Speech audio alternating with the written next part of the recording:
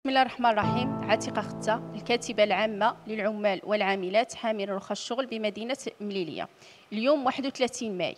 بناء على التصريح ديال الوزير الخارجية قال بأنه آه، يعني نهار يتم فتح المعابر أن العمال المرخصون أي العمال القانونيون نهار 31 سيتم الولوج ديالهم.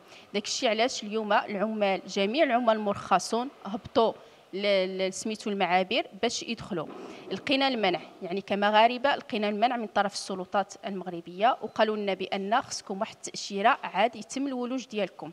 دابا حنا كعمال ديال المليلية وكمغاربه كرفضوا يعني رفض تام ديال هاد التأشيرة اللي كيفرضوا علينا. بناء على شنو وقع هذا النهار ديال 31 ماي غادي يجتمع المكتب النقابي المكتب النقابي للعمال والعاملات حاملين رخص الشغل بمدينة مليلية المنضوي تحت لواء الاتحاد المغربي للشغل باش نقروا طريقة باش يعني نكملوا النضال ديالنا. وغادي نديروا واحد الجمع العام آه، بناء على ذاك الجمع وشنو غيتفقوا العمال ديالنا باش يعني نوصلوا الرسالة ديالنا ونستمروا في النضال. حنا النضال ديالنا مازال مستمر.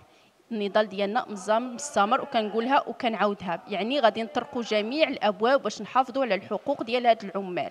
لأن هاد التاشيره شنو فيها؟ أن خص المشغل ديالك يصيفط لك واحد يعني واحد عقد عمل أنه مازال باغي يكمل معاك آه باغي يكمل معاك العقد ديال العمل. تما عدد كبير من العمال المشغلين ديالهم ما باغيينش يصيفطوا لهم داك العقود العمل. وهاد داك العقود العمل. وهاد العمال جابوا السنين ديال العمل. اذا الحقوق ديالهم غادي تمشي. لهذا حنا النضال ديالنا مستمر بناء على الاجتماع اللي غادي يدير المكتب ديالنا والجمع العام اللي غنديروه مع العمال والعاملات المرخصون ديك الساعة غادي نقرروا شنو كنديروا. النضال مازال مستمر.